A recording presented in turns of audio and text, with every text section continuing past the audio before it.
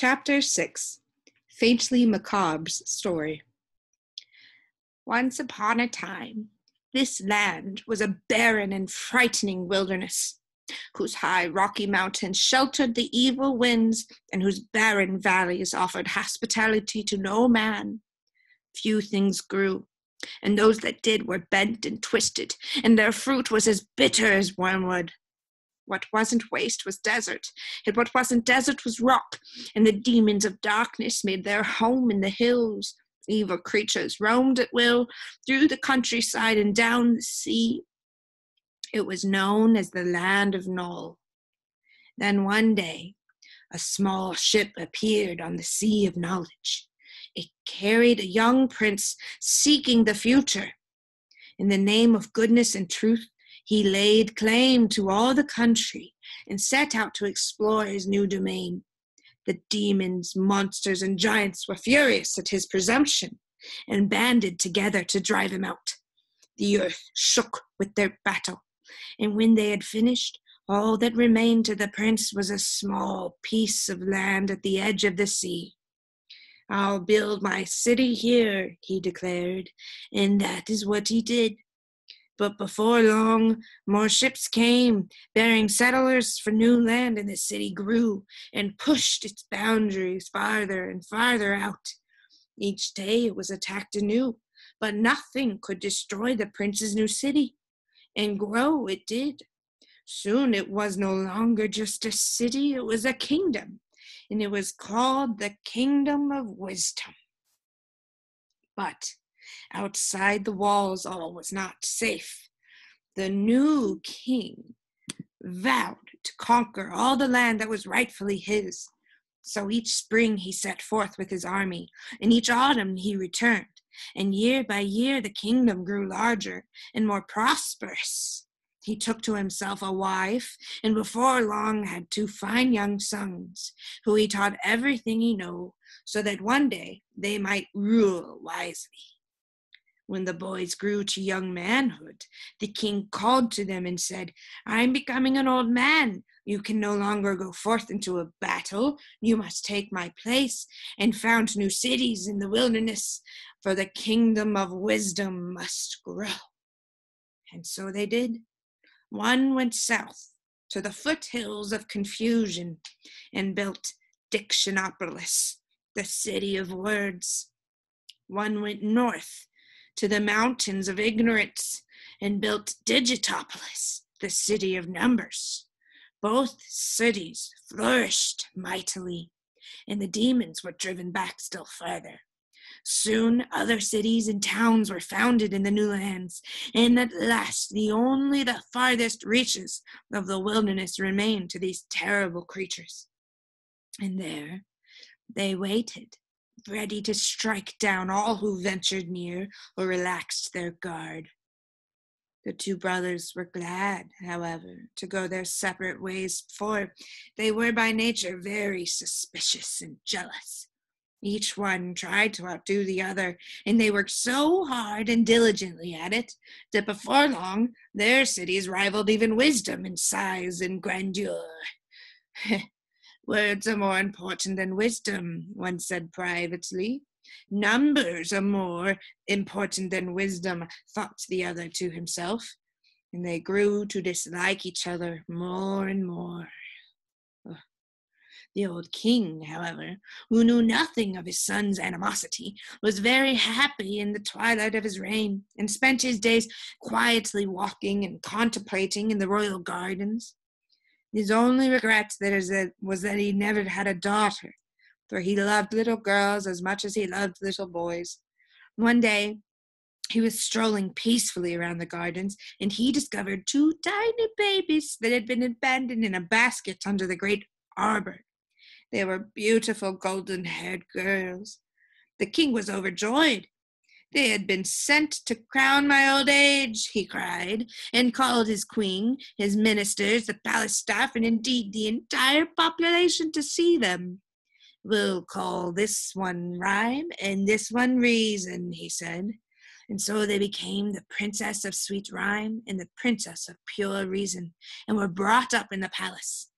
When the old king finally died, the kingdom was divided between his two sons, with the provision that they would be equally responsible for the welfare of the young princesses. One son went south and became Azaz the Unabridged, king of Dictionopolis, and the other went north and became the Mathemagician, ruler of Digitopolis. And, true to their words, they provided well for the little girls, who continued to live in wisdom. Everyone loved the princesses because of their great beauty, their gentle ways, and their ability to settle all controversies fairly and reasonable.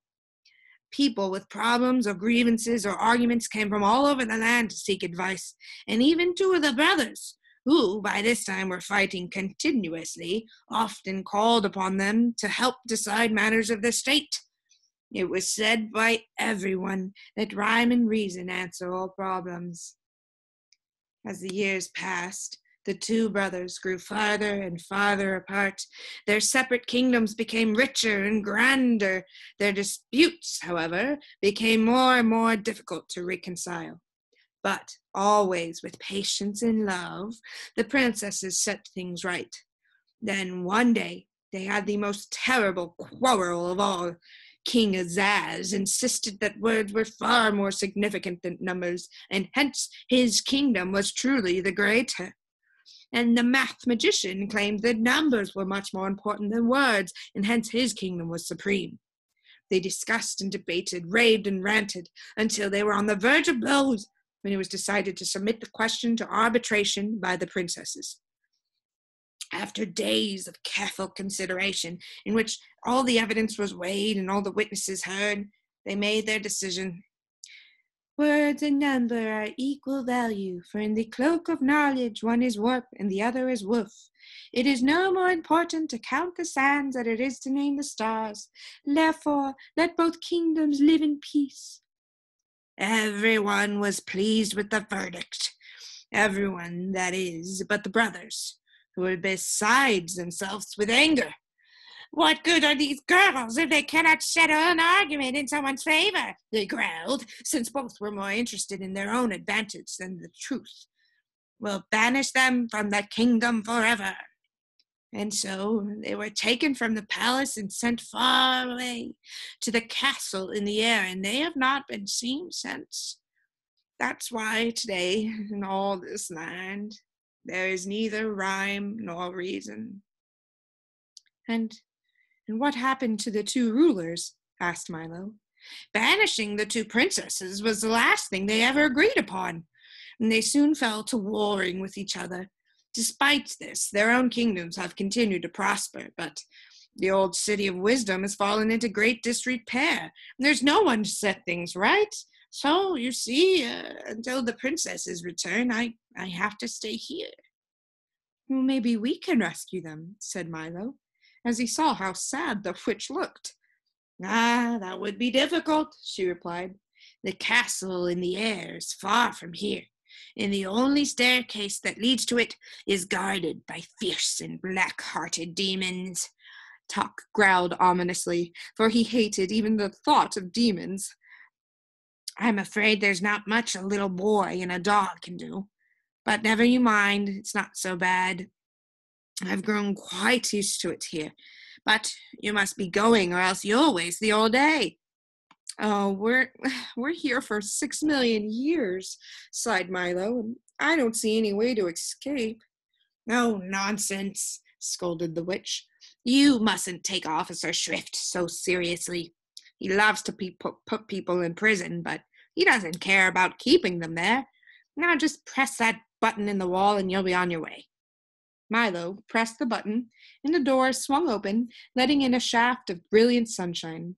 Goodbye, come again, shouted the witch as they stepped outside and the door slammed shut.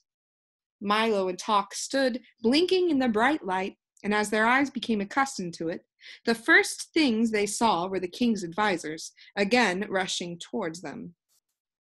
Ah, there you've been.